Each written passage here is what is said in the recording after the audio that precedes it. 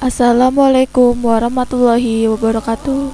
Jumpa lagi dengan channel Safa Media Entertainment Yang setiap harinya menghadirkan kisah-kisah menarik dan inspiratif.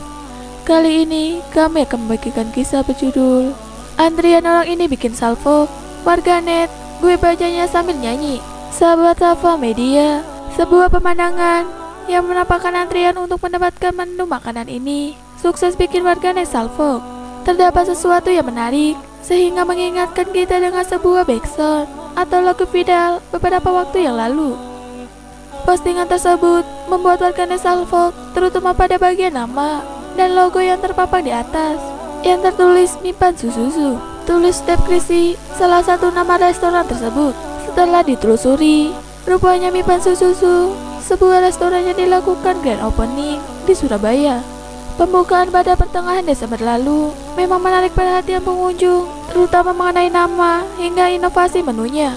Ipen Susu diketahui menyediakan menu makanan berupa mie yang dicampur dengan susu. Sebagai informasi, beberapa lalu beredar video editan hingga backsound serta lagu Mipan Susu. Awalnya, Mipan Susu merupakan efek suara di TikTok, namun akhirnya viral juga di Twitter Instagram, hingga ke YouTube. Ketika viral, lebih dari 200 ribu video di TikTok dibuat dengan efek suara Mipa Susu tersebut. Terdengar unik karena lirik dan nadanya.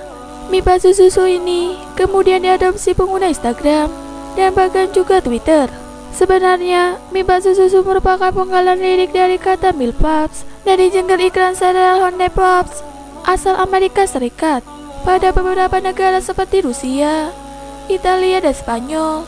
Sereal tersebut juga dikenal sebagai milk pops. Postingannya menampakkan antrian mipa susu menarik perhatian warganet setelah mendapatkan lebih dari 1500 like dan ratusan komentar dari warganet. Gue bacanya sambil nyanyi mulut monyong bagian susunya. Komentar Dayat, ikan sereal madu Rusia menangis melihat ini. Balas Rifai. Demikian kisah hari ini.